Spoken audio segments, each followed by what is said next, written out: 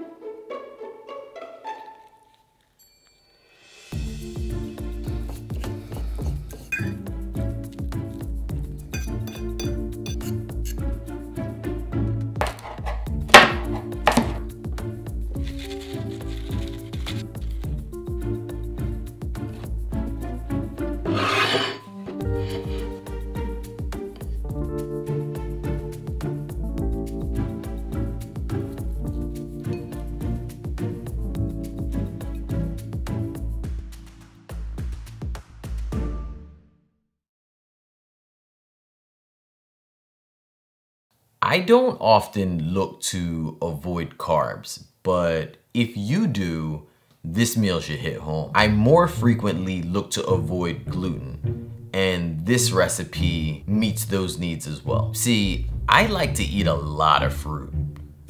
Bananas, apples, mangoes. These fruits contain a good amount of carbs, but on the other hand, they're also really great sources for potassium, vitamin A, vitamin C. And with all diets, there's that give and take. So I find it best to eat different things in moderation. But I'm no saint.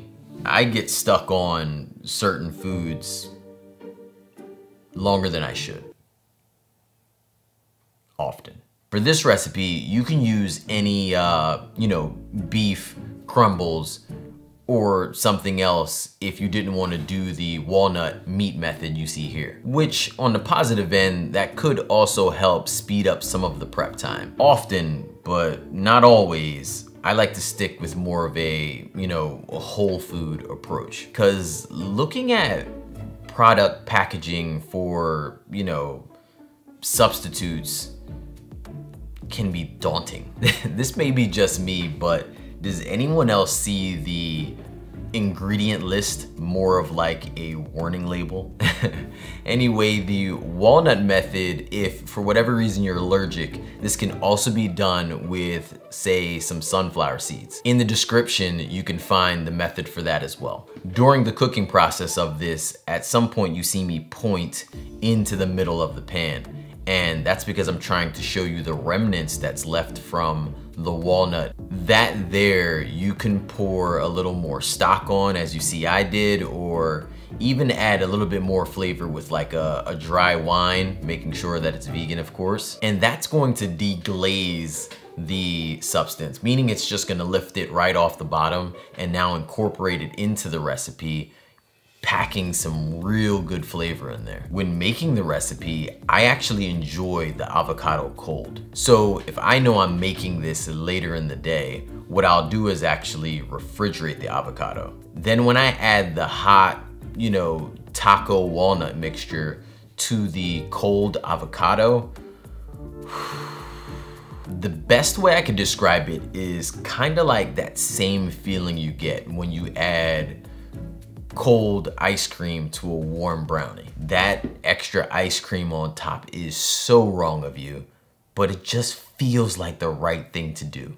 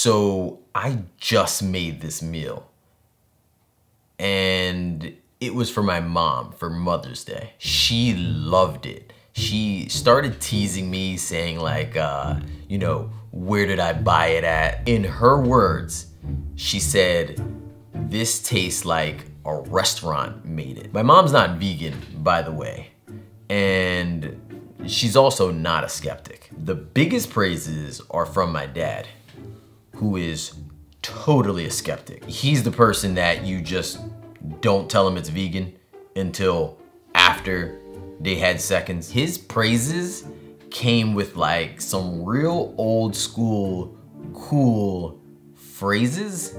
Pops, yo, this is banging, yo. Yeah, my family calls me Pops. Story for another day. But what can I say? He's uh he's my dad. So, you know, I played along. Yeah. The uh roof is on fire. The best way to describe this recipe is to say it tastes very similar to an Alfredo. It's very creamy and I just love that it comes together in one pot. Sometimes to help this meal go further, I have a recipe for roasted cauliflower that I'll use and I'll put it in the description as well. With this recipe calling for canned coconut milk, you can substitute that with another thick plant-based milk such as oat or soy, pea, or if you have some dairy-free yogurt that you need to use up before the expiration date, you could also toss that in as a substitute. Just make sure it's plain. Although dairy-free yogurt costs like a small paycheck. So if it's expired already, you better use that up for like lotion or skin cream.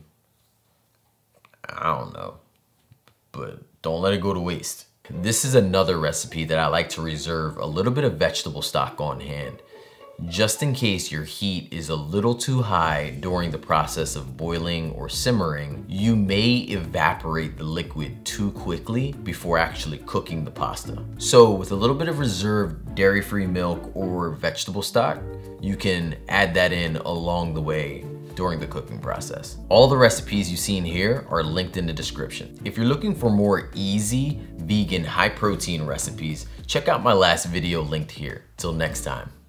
Believe in good. Peace.